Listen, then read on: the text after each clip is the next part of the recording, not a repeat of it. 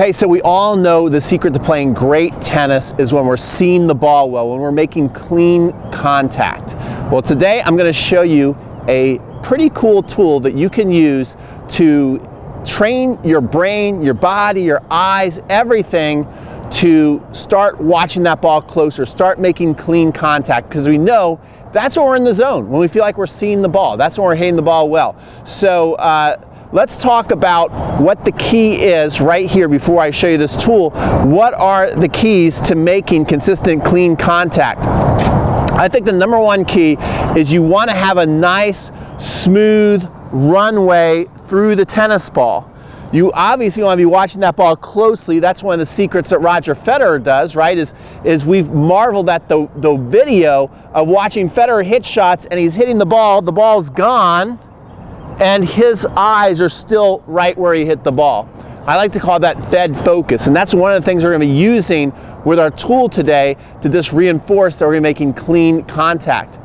Another thing though is lots of players as they're getting into the hitting zone whether it's a conscious or subconscious thing, they tend to pull up and out of the hitting zone. They might be wanting to hit more topspin, or you might be a little nervous. So instead of creating this long runway through the ball, which is going to get, because you don't know the exact precise millisecond you're actually going to make contact with the ball, you just you think you do, but this tool I'm going to show you right here, and, it's going to be a humbling experience for me, is going to show you that, that you're not watching the ball as closely as you think you are. So we think we know exactly where we're going to hit the ball, but we really don't. And the more we can keep our racket basically collecting that tennis ball, kind of like if you want to collect uh, something like a leaf in a pool, you have the, the pool strainer going out there and collecting it, right? So same thing with your tennis racket. You want to start getting the racket behind the ball, hitting, staying with it as long as we can and through. Even when you watch the great Rafael Nadal, it looks lots of times like he's hitting and then he's like over his head. That's actually not so. If you watch when he's hitting, it's one of the things I marvel about Rafa because that's what I used to think when I watch him hit. I'm like, how's he getting all that spin and depth when he's basically doing that? But if you watch him in slow motion, he's actually hitting, coming way through first and then up and around. So that's the key is really watching the ball, being able to judge it well, keeping eyes down. And when we do that, we're gonna hit nice, clean forehands.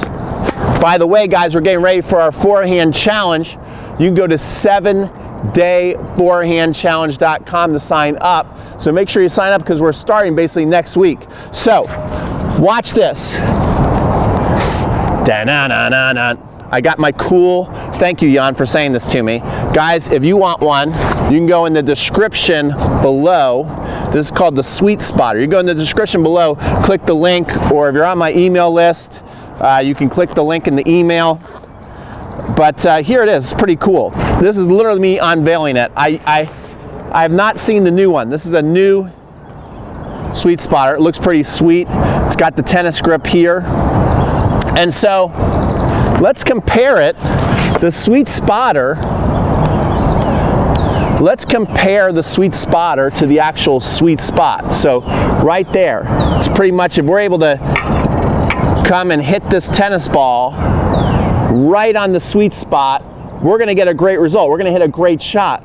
But since it's shaped like a baseball bat, if we're a little off, it's gonna shank up, it's gonna shank down. And that's exactly what happens, okay? This is, this is gonna be less forgiving than a tennis racket. Let me tell you that right now, okay?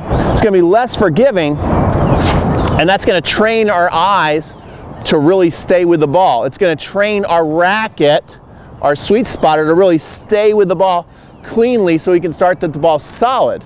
But think about that. In tennis, if we're a little off, if we hit the ball up here, right? If we're trying to hit in the sweet spot, but we hit it up here, now the ball is going to fly out on us. If we hit it too low on the frame, lots of times we're going to hit it in the net. So we want to hit it right in the right spot so that we can have a sweet shot. Therefore, the sweet spotter. So I'm going to practice a couple with, of these and see if I can hit some sweet spot shots. We'll take a look at it from the back. But what I have to train myself again too, because as we get nervous, like I really want to hit this right in the middle. Sometimes we be too careful, but we don't want to be too careful with this thing either. We don't want to swing too fast. We don't be swinging. We got to find the Goldilocks swing because if we swing too fast, we're probably swinging too fast for our eyes, right? And we don't want to swing too slow because that's when we start to get timid. You know, a lot of times people miss most of their shots when they're actually playing too careful. So we got to find a nice runway. We want to really feel. That's another thing too. The way this is weighted, it really promotes if you just let your, your racket go through the ball, it really promotes a nice long swing path. So let's see I do right here. And that actually took way off, okay? So even though I thought, man, I'm pretty good at tennis, I'm gonna hit a good shot, that actually went over the fence the other way. Don't worry, I'll show you my embarrassing mistakes uh, from behind here in a second. Let me try another one though. All right, right here, again, I wanna hit through it nice and clean. Now that was better. That was better, I was happy with that. So again, I'm already training the brain, training the eyes. Let's take a look at some from the back. Okay, so next ball, again, really trying to watch that ball, nice long runway through it. That was pretty sweet. That was a sweet spot. And when you hit it right, it feels really good. It's addictive. It's kind of like when you hit a great tennis shot or a great golf swing or you hit a baseball shot really good. If you're, if you're somebody who loves sports, when you hit it well, it's very satisfying. And when you don't hit it well, again, it gives you that feedback. It doesn't feel quite as good. So looks like when I miss so far, I'm missing down. That is perfection right there. That is perfection right there. Let's see if I can do that again. Oh no! You see that? So it's showing, it's really training like if you're slightly off. You see that? That one was a home run. So no good there. No good there. Let me try again though. I'm loving this. This is kind of addictive. Again, if you want one, go in the description uh, below this video. Also, make sure you sign up. I got two links in there. Also, make sure you sign up for your seven day uh, forehand challenge. I'll analyze your forehand for you.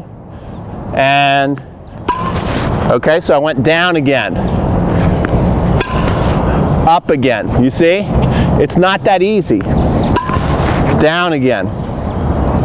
So you got to really, really focus, guys. And there it is. Again, beautiful shot. This sweet spotter is a lot of fun. It's a lot of fun. So make sure if you want one, you go in the description below. You can get yourself one, really train yourself. We're gonna be working hard on the forehand. We're working hard on the forehand coming up. We're gonna do our seven day forehand challenge. So you get your sweet spotter, you go through the seven day forehand challenge. After you so what's the next step there? You go through some, some growing pains there. You experience some good shots, some embarrassing shots in the net, some shots over the fence with the sweet spotter. Then you get your racket. Now all of a sudden making good, clean contact is a breeze, okay? Now all of a sudden hitting those shots like that is a snap but you also have to have the good technique. So we're gonna teach you the awesome forehand, the ATP forehand. We're gonna teach you the ultimate rally ball. We're gonna be showing you ATP footwork with the seven day forehand challenge. I'm gonna teach you how to run serve plus one place. You get free 48 hour access and then you wanna go to the next level for like pennies you can sign up and get lifetime access. So make sure you sign up for the seven day forehand challenge. Make sure you check out Jan Sweet Spotter and make sure you smash up the subscribe button. We are getting close to 50,000 subscribers. And when we get to 50,000 subscribers, I'm going to do a raffle I'm to do a raffle and give somebody a $200 gift certificate to Tennis Express. Okay, so if you love tennis, you should smash up the subscribe button and the like button. Comment below, what do you think of this? What do you think of this sweet spotter? Do you like the sweet spotter? Do you see the value in that? It's a little embarrassing using the sweet spotter. You saw I shanked some way. I, it's like when you when it goes way off on you too, you can't believe it because you swear. It's kind of like golf. Like you think you hit a great golf shot, but you know what? The angles don't lie. If you're a little off, it's brutal. And that's what this is. If, if you're a little off on your angle, approach to hitting the ball, it's gonna let you know that instantly, but when you hit it clean, it's gonna let you know, good, that was a good job. Do that again, and then you can get in the zone with it. And then once you put the racket in your hand, tennis is actually easy. All right, we'll see you guys in the next video. It's time to develop a forehand with massive power and spin without having to give up accuracy and consistency and without having to spend hours and hours on the court every day for the rest of your life. My name is Peter Freeman and I'm the founder of Crunch Time Coaching. You may have seen one of my Upgrade Your Forehand Challenge videos on YouTube where I work with the great Rick Macci, who's worked with the Williams sisters, Andy Roddick. I'm on a mission to learn the truth on what truly makes a great forehand so I can bring the coaching goal back to you. Introducing the seven day Upgrade Your Forehand Challenge. When you enroll in my challenge today, you're going to get lifetime access to $1,068 worth of training. The Challenge includes seven days of step by step video coaching, the perfect practice plan drill sheet, live coaching and support from yours truly. Enter your information below and enroll now. It's an insane $1,068 worth of value. If this is finally where your forehand transformation begins, wouldn't it be worth it?